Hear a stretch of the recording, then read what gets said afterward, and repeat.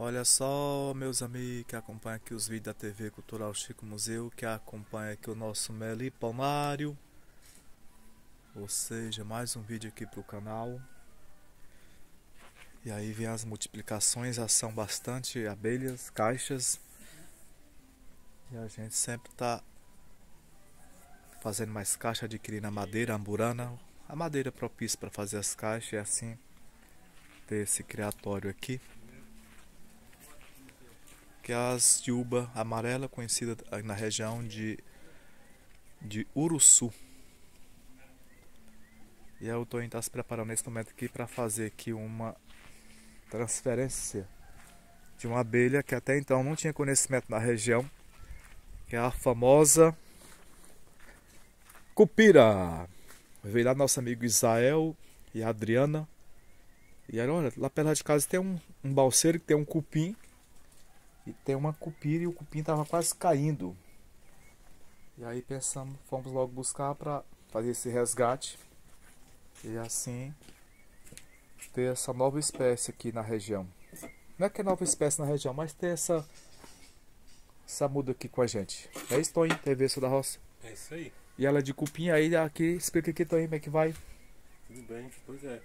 Aí ela se adapta bastante à questão de cupinzeiro, né?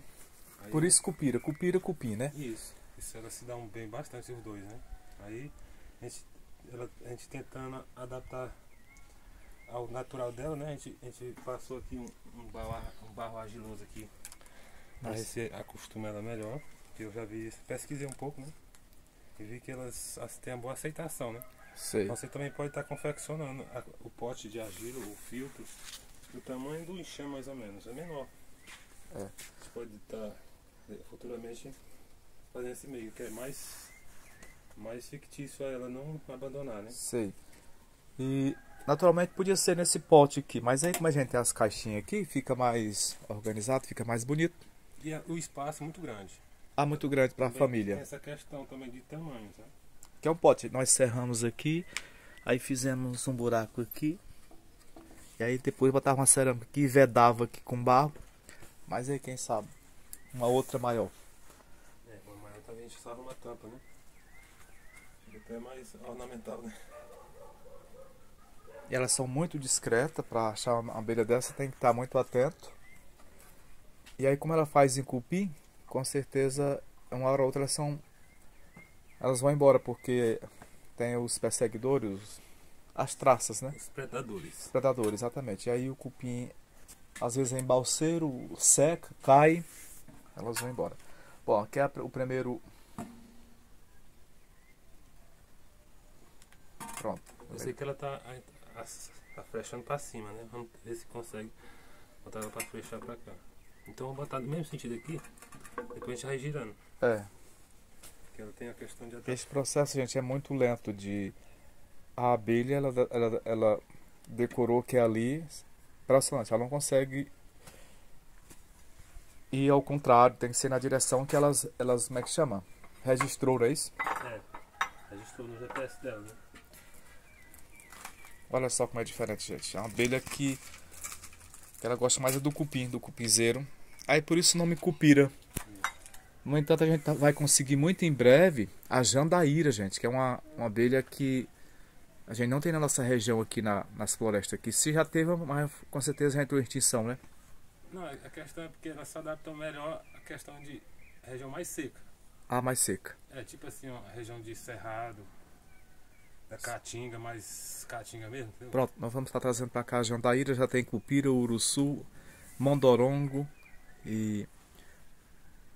Como é que chama? Tem a, as moça branca. Essa branca, mosquito. Tem abelha mosquito e agora cupira. Pronto, elas já estão chegando aqui, ó. Olha só. Que elas são bastante agressivas. Defensiva, aliás. A gente chama agressiva, mas defensiva. Sei.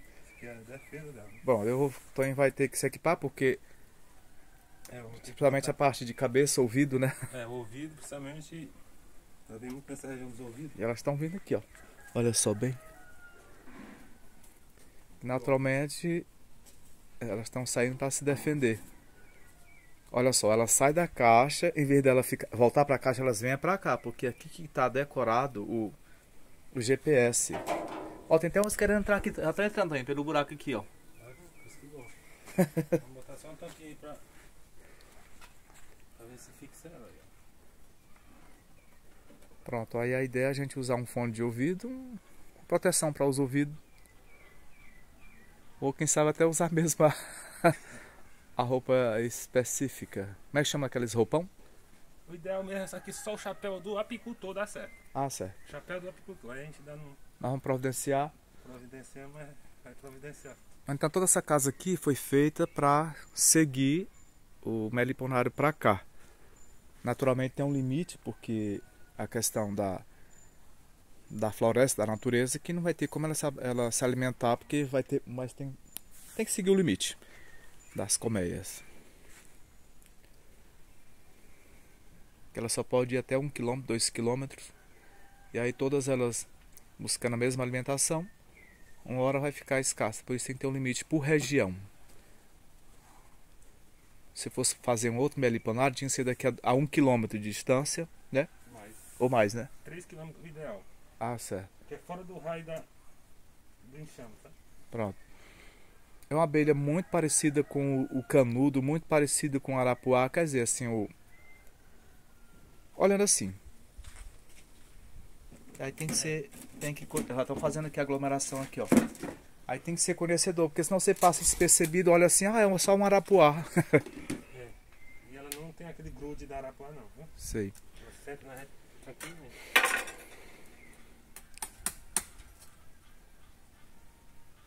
É interessante, a gente olhando assim, a gente quase não vê flechar as abelhas, entrar e sair. Aí quando Começa a bater, hein?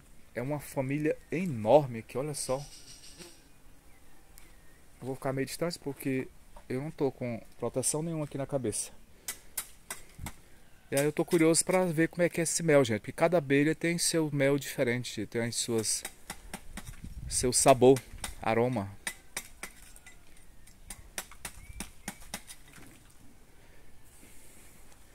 E aí tem que ser feito durante o dia. Outro dia eu achei que fazer foi fazer a transferência de uma tiúba à noite. Como é que pode?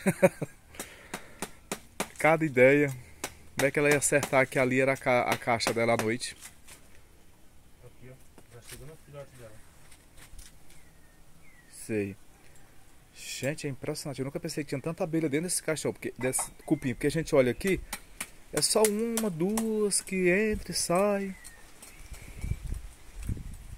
Aí tem que ter o máximo cuidado para não machucar muito os filhotes, os filhos. O fio, é fio. Filho, ó. Filhote mesmo. Você pode chamar filhote. Ah. Lembrando que o Toninho já fez o segundo curso de apicultura, não é isso? Não, fiz da apicultura, agora eu tô fazendo da meliponicultura. Ah, certo. E aí, qualquer curso que você vai fazer, o correto é quando você faz a teoria e a prática. É o que está acontecendo aqui. A prática. Eu, eu vi ó. Ele é bem alvinho, né? Sei. Bem diferente.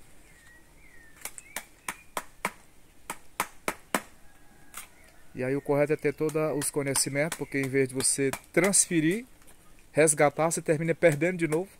Perdendo assim, que ela volta para a floresta. Mas diga assim, é, se não souber fazer, elas poderão não morar com a gente aqui.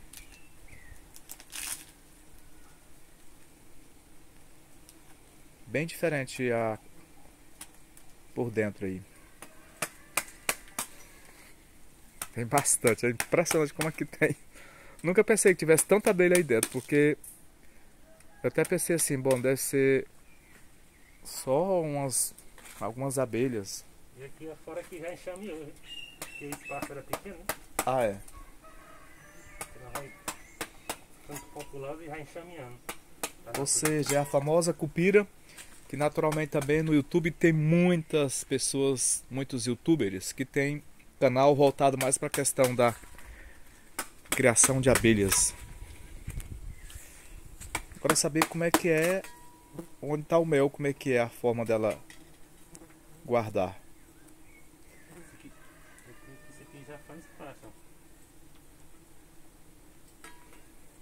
Então essa abelha, essa abelha cupira, ela é rara na região.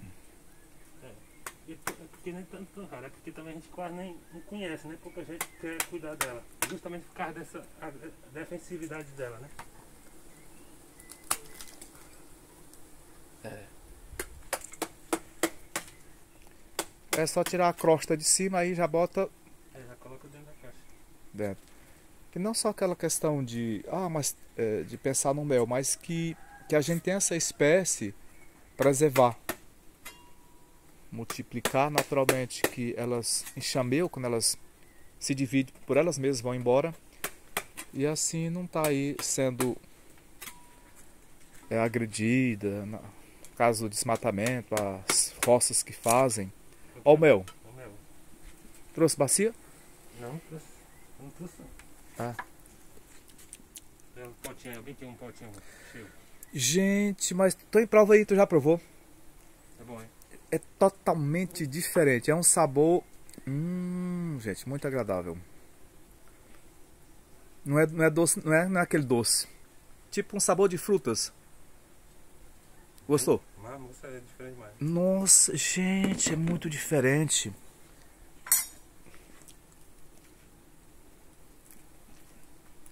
Muito legal. Tem que cultivar, tem que preservar, porque o mel tem sabor de frutas, de. Vamos dizer assim, de salada de frutas. Ela de Até tem uma gotinha aqui. porque ela é mais maneira assim. Passar, não machuca muito. É bem.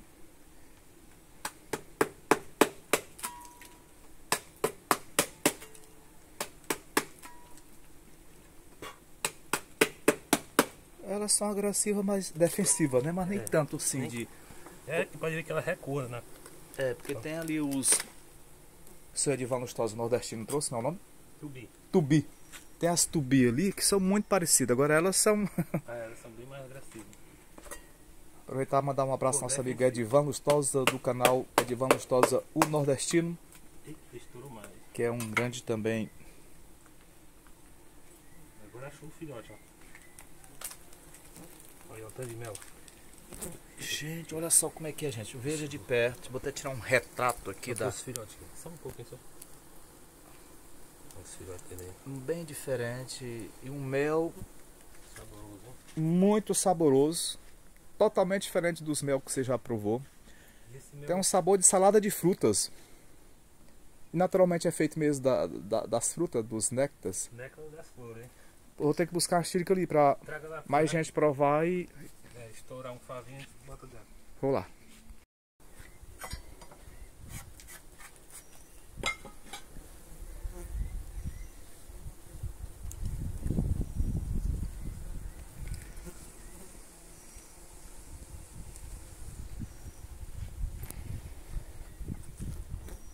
Ou seja, é o mel da cupira.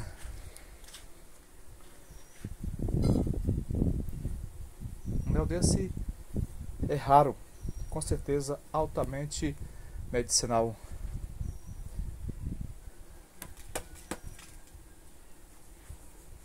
Essa parte aqui é tudo é né? É, realmente. Ela não tinha mais espaço para. Não, tá muito pequenininho aquilo. Com certeza ela já enxamou várias vezes a natureza.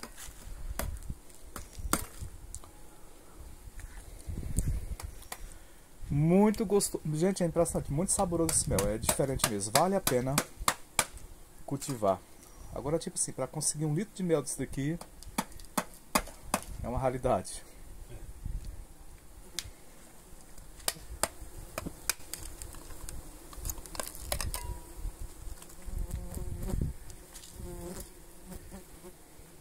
De vez em quando alguns vêm aqui no meu cabelo, mas ela não gruda não. Não gruda não, tem aquela cera igual a Arapuá, não. Olha só, mostra mais em detalhe aqui, ó. Elas são muito parecidas com a tubi, com. Confunde bastante com a Arapuá, né? É. Tantas vezes a gente já viu por aí nas florestas, no cupim, aí você olhava assim, ah, o arapuá. Pronto. É, primeira coisa. Então, se não tem o conhecimento, né?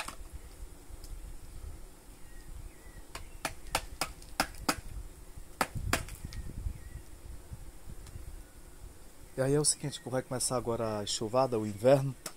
A gente vai plantar mais plantas que. Mais plantas, mais árvore para aproveitar melhor as floradas. Pois é, apareceu tanta abelha desse pequena desse pequeno cupim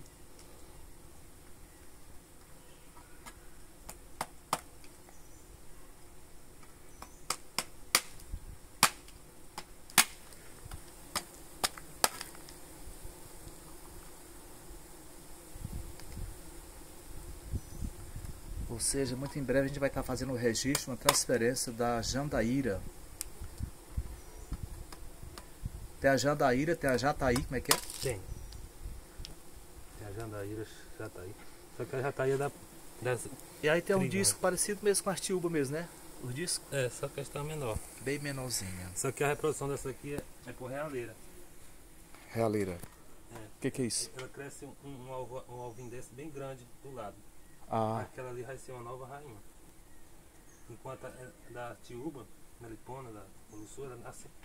A, ca- cada disco daquele nasce em torno de 20% de princesa. Aí, elas naturalmente vai ser escolhida ou ser excluída. Enquanto não, não tiver necessidade da substituição de uma nova rainha, pois é, excluída ou incluída, como é que é?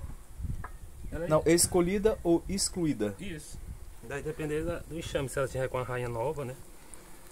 Ela, ela mantém a rainha velha. Se não, se ela tiver velha, exclui a velha e bota, escolhe uma nova. É uma abelha totalmente defensiva, mas nem tanto. Se fosse ali a tubi, não tava aqui mais não. Ah, não. E se fosse o canudo, Então, né? lembrando também que a gente vai fazer um. Conseguir uns. Umas multiplicação dos canudos. Pra E a cera dela assim, bem rosadinha, né? aquela coleção de abelhas. Para isso, vamos só se preocupar em plantar mais frutífera, mais plantas que dê muitas flores. Engraçado, tô mexendo aqui, aí tem um calango lá de olho, olha só. Ah, ele voltou lá. É, Ele, ele tá bem gordinho só de comer abelha, hein? É, ele tá de olho aqui. Aí que são os predadores.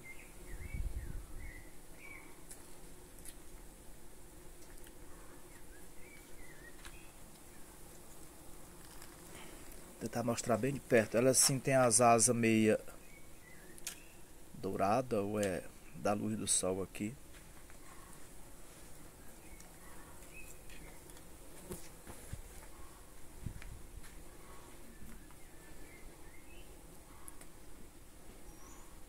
Tirar só uma pequena amostra para as pessoas provar ali da nova espécie que chegou e vai ficar, porque o sabor é como diz o André, daquele jeito.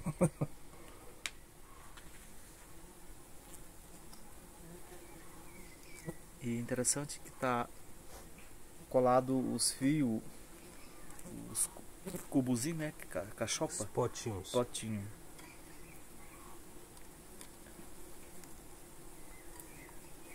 Olha só.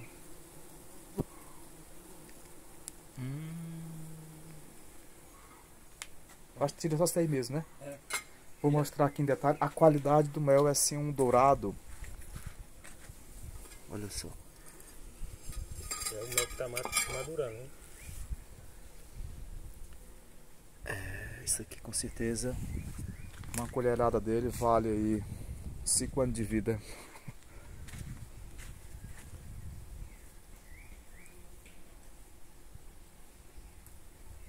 É, tem que. Olha embaixo que tem, olha só. Isso aqui, isso aqui é mais é pólen. Ah, quero provar, vamos provar também o sabor do pólen. Pólen.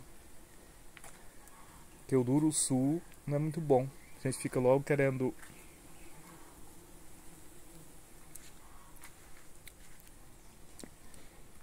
Saboroso também. É. É leve, é suave.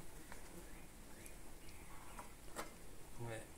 Do Uruçu é, é bem ardido, né? O ideal aqui que desse de tirar mais inteiro, mas tá.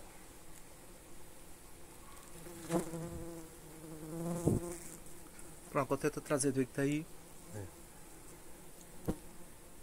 Eita, não pode derramar esse mel, mas derramou. Tem bastante mel do lado de cá. Deixa um pouco.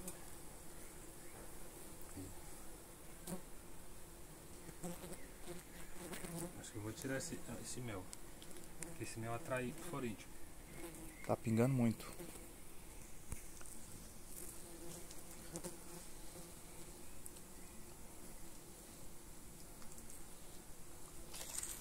Então todo aquele cupim resultou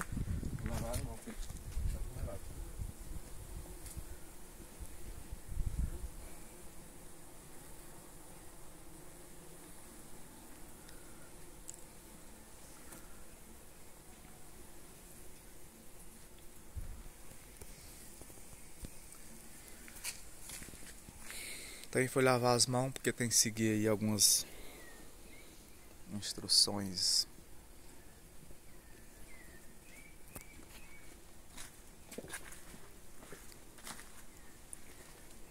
Amei esse mel.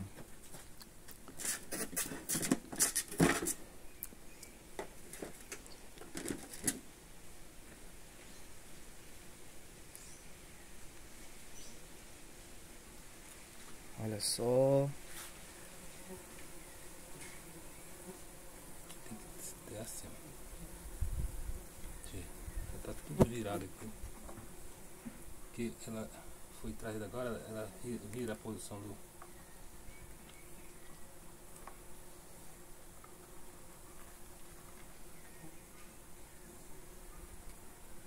Deixa passar. Aqui a recente postura. Se essa ver a rainha, né? Nós vamos botar aqui. Por isso que tem que ser sujo de barro ao redor para dar aquela limitação de que é um cupim, é um barro. Isso. É porque a gente tem que olhar, observar direito, assim, que essa parte aqui ela tem que ficar sempre para baixo, ó. Ah, sim. Ela vai, sempre nasce para cima. A rainha nasce para baixo, geralmente.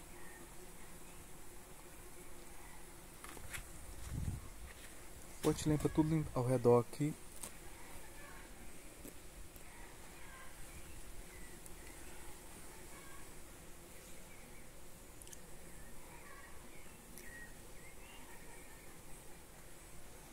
Pólen. Gente, isso aqui é uma raridade. Por que, que é uma raridade? Porque nunca ninguém teve aquele olhar de preservar.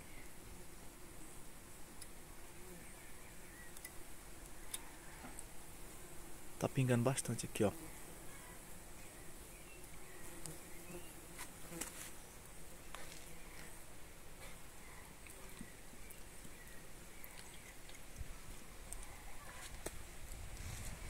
Nossa, é muito bom esse mel.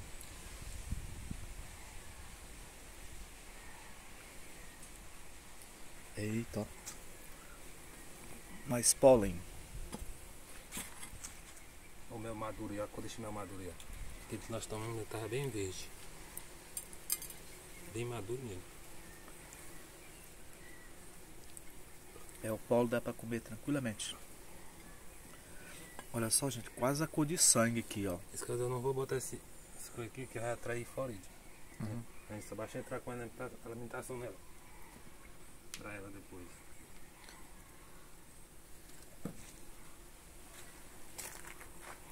Podia botar essa aqui. Ah, bota aqui em cima, né?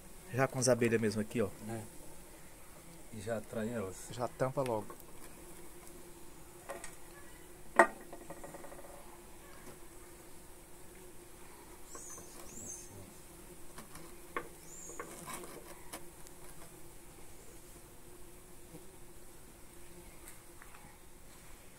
Deixar um pouco aberto que vai atrair elas e aí.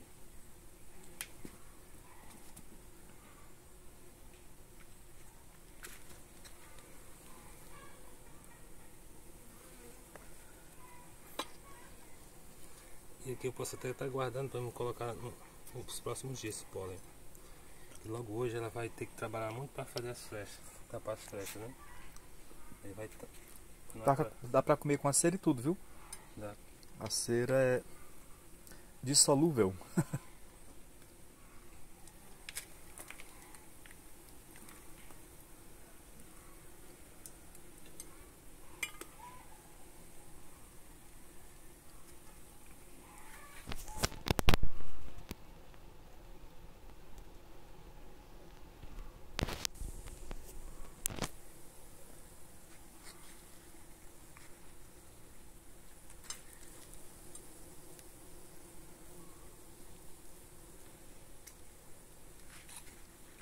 partir de agora a gente possa ter várias multiplicações de vez em quando abrir comer um pouco desse mel com pólen e assim adquirindo saúde. Cada abelha tem sua especiação, né? Né? Determinadas plantas. Determina a sua de Sua marca, né? é, nutrientes.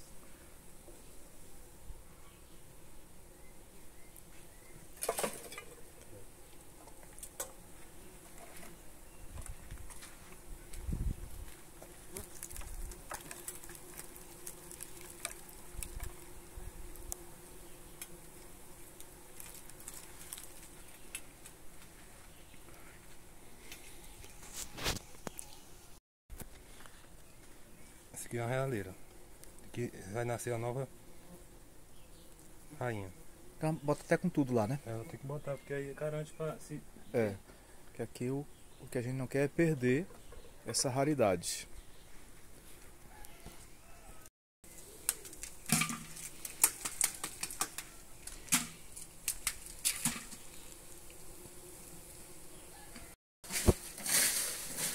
Pois é isso, meus amigos. Obrigado por assistir mais um vídeo.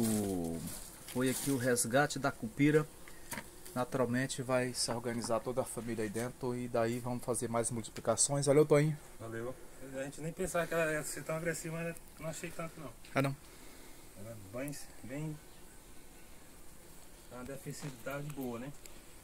Cuidar das abelhas é cuidar também do planeta, porque são elas que fazem tudo acontecer. Da produção de arroz, milho, feijão, tudo. É isso? Tudo. Tudo, Mais de tudo. 70% do nosso alimento do mundo é produzido por elas, né? O restante por morcegos, borboletas, moscas, vespas, né? Etc. Pronto. E se inscreva aqui na TV Cultural Chico Museu. Obrigado a todos.